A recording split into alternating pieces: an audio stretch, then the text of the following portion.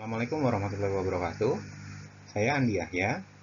Pada materi potensi bahan galian non-logam di minggu ketiga, di uh, segmen terakhir, di segmen kelima, kita akan belajar bagaimana aspek keekonomian dan juga pemasaran dari batu hias. Sebelumnya kita sudah tahu bahwa diperlukan adanya ASTM dan uji SNI untuk menentukan kualitas dari batu hias. Tapi eh, kadang-kadang batu hias itu juga dijual uh, dalam ukuran yang lebih kecil sehingga tidak memerlukan uh, eh, SNI maupun ASTM tersebut karena batu hias ini umumnya dipasang sebagai dekorasi dari rumah. Kemudian harga dari batu hias ini itu sangat e, bervariasi. Semakin besar ukurannya, maka nilainya akan semakin mahal dibandingkan batu hias yang berukuran lebih kecil. Kemudian selera dari e, pembeli itu juga menentukan harga dari batu hias tetapi dia cenderung uh, relatif stabil dan tidak mengikuti uh, harga uh, di dunia misalkan ada harga logam ataupun harga minyak bumi, harga emas itu tidak. Tapi batu hias ini lebih ke arah estetika di mana semakin bagus dari karakteristik batu hias tersebut maka nilainya akan semakin tinggi juga. Kemudian kondisi ini akhirnya menimbulkan beberapa aspek yang menguntungkan. Jadi konsumen itu tidak akan pernah mengalami uh, kebosanan. Karena ketika dia uh, jenuh terhadap suatu uh, produk tertentu maka dia akan memilih produk lain.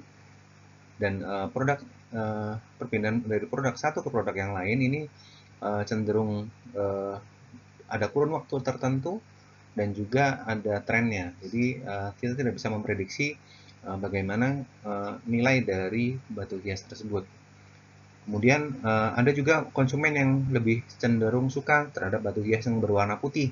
Dia tidak suka batu hias yang berwarna gelap. Ini juga lebih ke arah preferensi, preferensi dari masing-masing konsumen. Kemudian uh, perdagangan batu dimensi antar negara itu sudah sangat umum terjadi. Biasanya negara-negara yang mempunyai uh, kerak benua yang lebih besar, contohnya India, Cina, itu merupakan uh, penghasil batu hias yang cukup baik. Karena pada lokasi-lokasi tersebut dihasilkan banyak eh, daerah-daerah yang mengalami uh, metamorfisme sehingga dihasilkan batuan-batuan yang mempunyai karakteristik yang lebih, lebih menarik. Serta di daerah kerak benua yang luas maka batuan-batuan uh, seperti andes uh, seperti granit itu juga uh, akan terhampar lebih lebih besar dibandingkan negara kepulauan seperti kita yang terbentuk karena akibat proses subduksi dari uh, lempeng. Batuan yang terbentuk jadi antara lain granit, uh, andesit ataupun basalt. Kemudian di pasaran itu banyak juga dijumpai batuan yang setengah jadi, jadi belum dipolis. Jadi setelah sampai di lokasi uh, pengepul ataupun uh, pembeli baru dilakukan pemolesan. Di Indonesia sendiri uh, batu dimensi itu sudah ditambang. Sebagai contoh, uh, batu granit itu sudah ditambang di Karimun, kemudian di beberapa lokasi di uh, Kalimantan Barat ataupun di Bangka dan Belitung, granit juga ditambang sebagai batu dimensi. Tetapi jumlahnya belum banyak.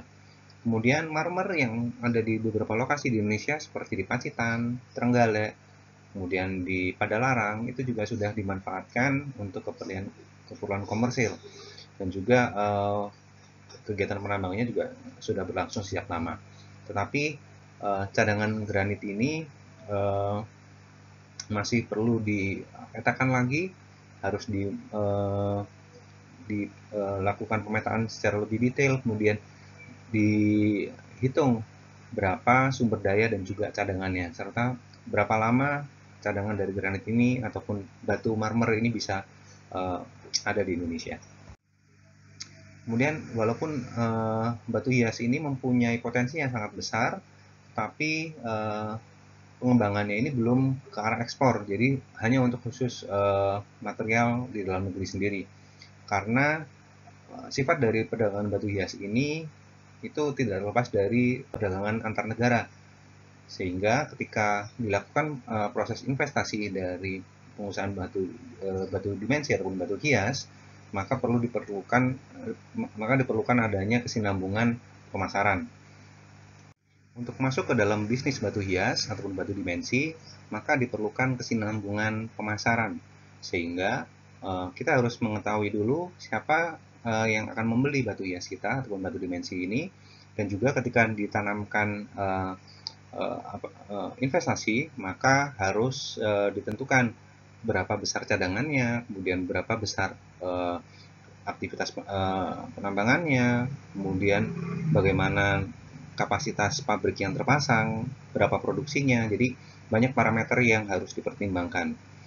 Sebagai contoh, pada slide ini ditunjukkan kapasitas pabrik uh, 250.000 meter persegi, kemudian total investasi yang diperlukan adalah 18,5 juta dolar dengan total pengeluaran sekitar 14,5. Jadi ini adalah contoh uh, kasus di mana uh, diperlukan adanya IUP sendiri, kemudian ada kegiatan eksplorasi, kemudian AMDAL dan seterusnya yang dinyatakan dalam US dollar.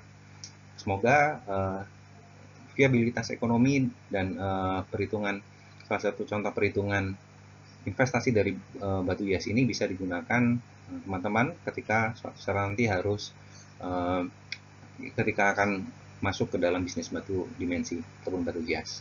Terima kasih. Assalamualaikum warahmatullahi wabarakatuh.